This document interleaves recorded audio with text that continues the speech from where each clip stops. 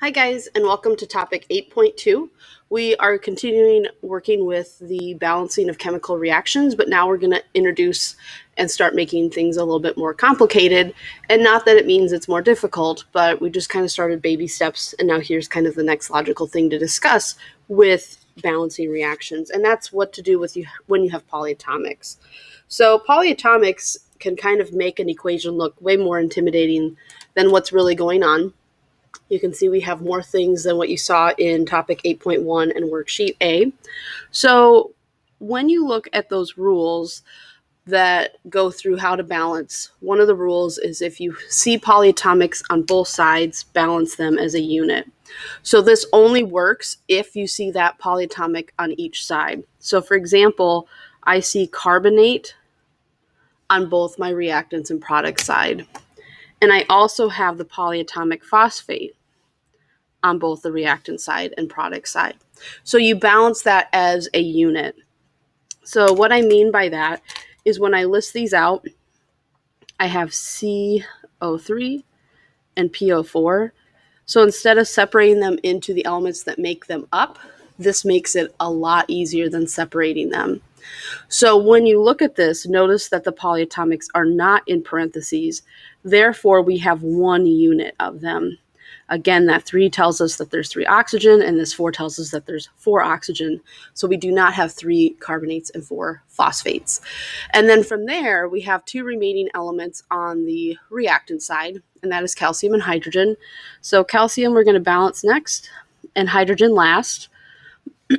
Again, excuse me, uh, we want to typically balance oxygen and hydrogen towards the end. Now, again, with the polyatomics having oxygen in it, again, we're balancing it as, it as a unit, so therefore it's not an issue. Now, we can go ahead and fill that in for quantity. We have one calcium and three hydrogens. So looking at the product side, I want to go in the same order. So carbonate, I also have one of them. However, the phosphate on the product side is in parentheses, therefore I have two of them. Uh, filling in the rest, calcium, there is three, and hydrogen, there is two. So when I start looking at what needs to take place in order to balance my equation, I have that I have one carbonate, so those are a balanced um, unit currently. And my phosphates, I have one and two. So I'm going to go ahead and add a 2 to the reactant side to bring that side up.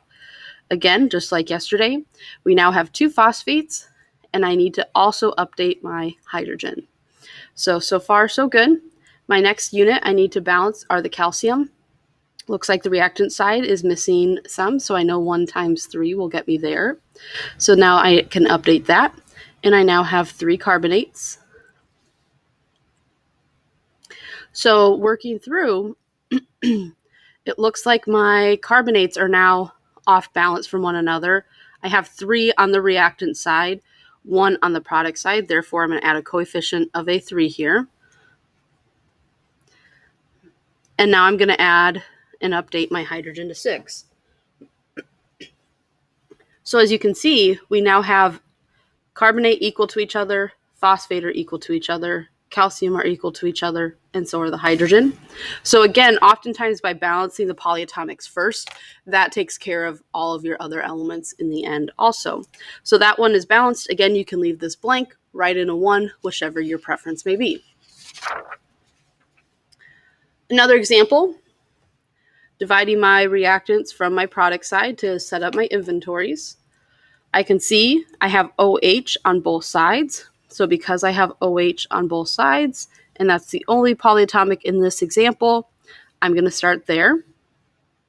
Now, my remaining elements are potassium, bromine, and iron, none of which are oxygen, carbon, or hydrogen.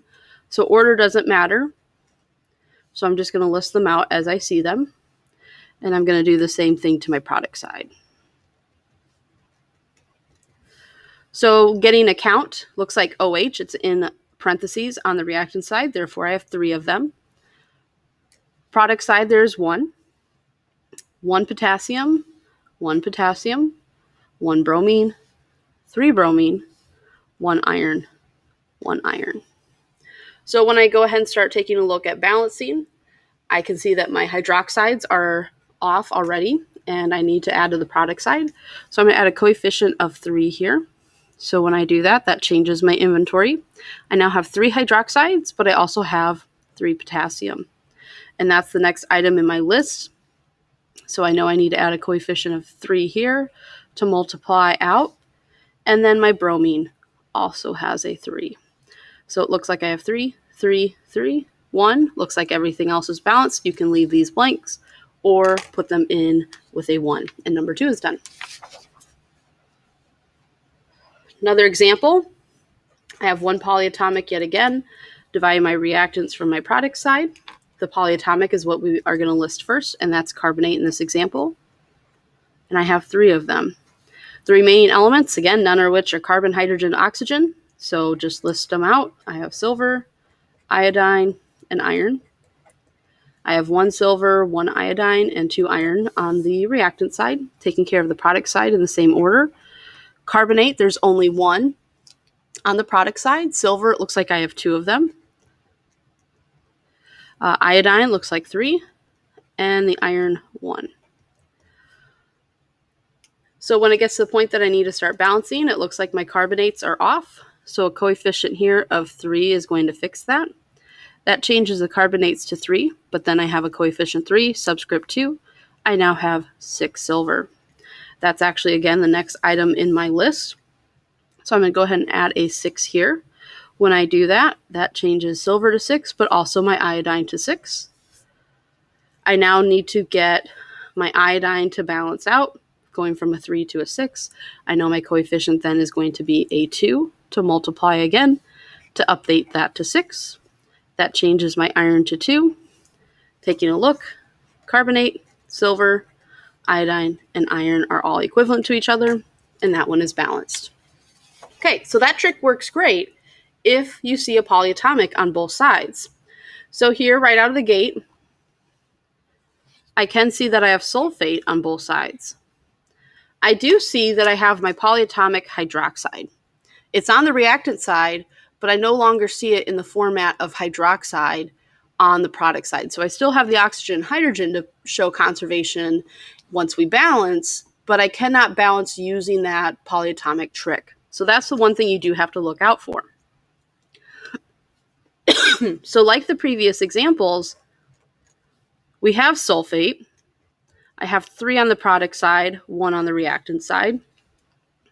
And then what's left is this hydrogen, boron, and oxygen. Boron is what we're going to balance next. Balance hydrogen second to last. And here you have to be very careful. We have two and three, so a grand total of five. On the product side, it's only found in the water, so there's two. And always balance oxygen last. However, we are taking care of the oxygen and the sulfate by balancing the sulfate as a, the unit. So ignore those oxygens. You are only going to account for the oxygens in these two compounds. So I have three oxygens in the boron hydroxide. And in the water, I have one. So now we're back to where we've been with balancing. So when I start taking a look, my sulfate, I have one and three. Therefore, the reactant side needs three. Careful in how you update because a lot of times students go, okay, I changed my hydrogen. So they go down here and they see that they have five total. They take three times five and say that they have 15. That is not correct.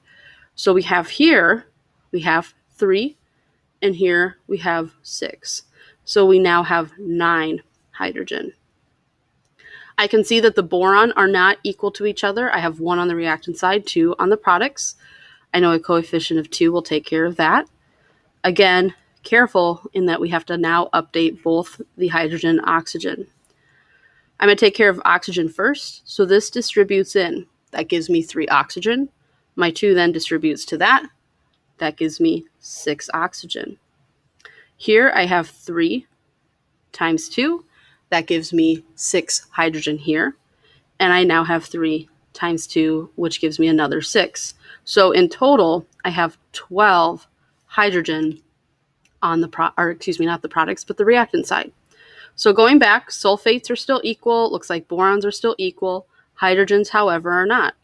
I need to get my product side up to 12. I have a subscript 2. So that means I need to take something times 2 to get to 12, which is a 6.